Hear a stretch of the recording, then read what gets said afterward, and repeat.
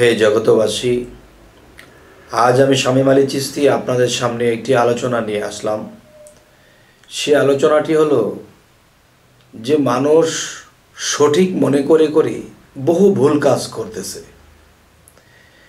যেমন একটি কথা বলা হয় যে একটা বাচ্চা যখন জন্ম নেয় পৃথিবীতে, তখন একদল তরিকতের লোক মনে করে যে যেমন গান শুনেছিল, আমার চাচা গুরু জালালউদ্দিন খা কিছু কবিতার মধ্যে গান লিখেছে, আবে হায়াতের পানি, দেহের মধ্যে আছে জানি, চিনতে কয়জন পারে? সে লেখছে এই কথা। আবার এটাকে কেউ কেউ কি বলেছে? যে দেহের মধ্যে আছে জানি, আবে হায়াতের পানি, খাইতে কয়জন পারে? নাউজুবিল্লাহ। তো আজকের যে কথাটি হলো, যে এই আবে হায়াতের পানি মানব দেহের মধ্যে আছে, ঠিক আছে। কিন্তু মানুষ ভুল করে করে এই আবে হায়াতের পানি মনে করে তারা কি কি করতেছে? যে আবে হায়াতের পানি মনে করে করে তারা যে একজন নারী লোক যখন বাচ্চা প্রসব করে, তখন গর্ভ যে জলটা, সেটাকে খেয়ে নিচ্ছে। নাওজবিল্লা আবে হায়াতের পানি মনে করে এটা খেয়ে নিচ্ছে। আবার কেউ ভাবছে যে সারাবান তহুরা, তো সারাবান তহুরা কি? সেটাও তো পানি। তো সেই দেখা গেছে যে গর্ভ জলটাকে খেয়ে নিচ্ছে। নাওজবিল্লা যারা এসব করে, এসব খাচ্ছে গিল্লা, এদের জন্যই আমি বললাম নাওজবিল্লা তবে আজকে এই আলোচনাটি যেই শুনবেন, কেউ রাগান্বিত হবেন না, ক্ষিপ্ত হবেন না, অবশ্যই আমার এই কথাগুলো বোঝার চেষ্টা করবেন। তবে হে জগতবাসী তো আমি যে কথাটি আজকে পরিষ্কার করে বলতে চাচ্ছি, অবশ্যই আপনারা এই কথাটা সুন্দর মনে নেবেন যে, দেহের মধ্যে আছে জানি আবে হায়াতের পানি, কথা তো সত্য, কিন্তু পানি তো সেটা নয়, গর্ভজলের কথা বলা হয় নাই। যে আবে হায়াত, অর্থ আব অর্থ পানি। আরবিয়াতে আব আব অর্থ পানি এবং হায়াত অর্থ জিন্দা। তার মানে মানব দেহের মধ্যে জিন্দা পানি আছে। আর সেই জিন্দা পানি দ্বারা আপনি, আমি পৃথিবীতে জন্ম নিয়ে এসেছি।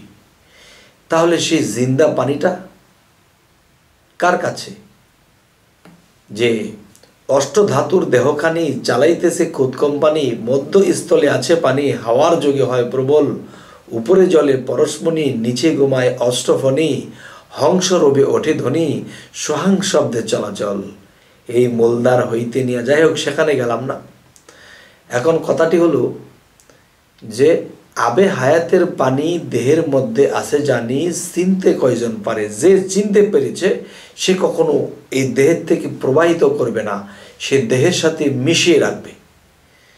আর প্রবাহিত করে যারা বক্ষণ করিতেছে, এতে কোনো লাভ হবে না।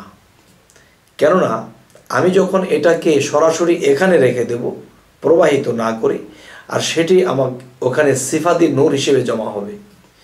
আর যখন আমি প্রবাহিত করে আবার নিজের মধ্যে বক্ষণ করব, সেটা পায়খানা রাস্তা দিয়ে চলে যাবে, সেটা আমার কোনো কাজে আসবে না। যাই হোক যারা এই ভুল জিনিসগুলো নিয়ে আছে, তারা আসলে সঠিক মনে করে এই ভুল কাজগুলো করতেছে। তে আমি এই জন্য আজকের এই আলোচনাটি নিয়ে আসলাম যে নারীর গর্ব গর্ভজল যেই জলের মধ্যে একটা শিশু বাসন্তমান থাকে, এটার মধ্যে সে নড়াচড়া করে তখন মা বুঝতে পারে, আর এই জলটুকু যদি না থাকতো, তাহলে এই বাচ্চাটি মারা যেত বা সেখানে জীব রূপে সে বেঁচে থাকতে পারতো না। তাই বলা হয় যে, আল্লাহ যে পানিটা দিয়েছে, এটাও একটা নদী। আর এই নদীর মধ্যে এই লোনা পানিটা সেখানে থাকতে হয় আর এই পানির মধ্যে আল্লাহ এমন মেডিসিন দিয়ে দিয়েছে, একটা বাচ্চার শরীর হৃষ্টপুষ্ট হয় কিন্তু এখানে বাচ্চার কষ্ট হয় না এবং এখানে বাচ্চার শরীরের কোনো ক্ষতি হয় না।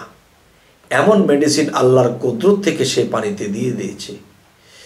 যখন প্রসবের মাধ্যমে পৃথিবীতে এসে যায়, তখন সেই পানিটি কোনো মানুষের কোনো কাজে লাগে না। আর যদি এটা কাজে লাগায়, তাহলে তারা এখানে কুফুরি করতেছে, এখানে তারা খারাপ কিছু চিন্তা ভাবনা করতেছে, সঠিক মনে করে। আসলে এখানে এই পানির আর কোনো প্রয়োজন নেই।